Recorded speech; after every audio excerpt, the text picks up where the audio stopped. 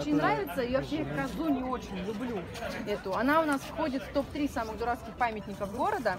Так, я вам тень там делаю, да, наверное? Да ничего не Нет, делай. все делают Вот, тени, все, только- все, да, тень делают? Да, все. Вот. И вообще, Ну, там почему коза Давай. на покровке стоит, да, такой вопрос, ну, очень справедливый. Она стоит на театральной площади, около драмтеатра, мы сейчас к нему тоже подойдем. И здесь по улице Пескунова, по левую сторону, есть у нас еще дом актера имени Вихрова. Вихров был идейным вдохновителем а, театрального фестиваля, который назывался «Веселая коза». Вот так вот О, первый раз не разберешься, коза. сильно все так запутано, но этому есть объяснение, да, почему коза. Весёлая Театральные на капустники, э, вот такие вечеринки свои, да, были.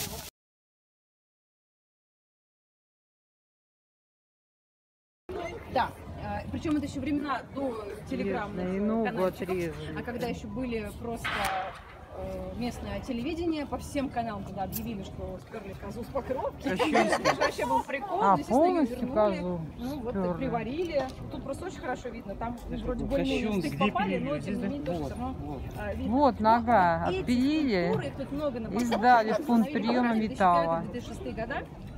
И, наверное, знаете, от 90-х ушли еще недалеко, поэтому... Вот тебе и коза на в Дойная какая коза Раньше чего-то да не хватало. А Вот. А тут вообще козу прям сперли. Ну, это, конечно, прям было вообще прикол. Ну, благо, конечно, вернули. И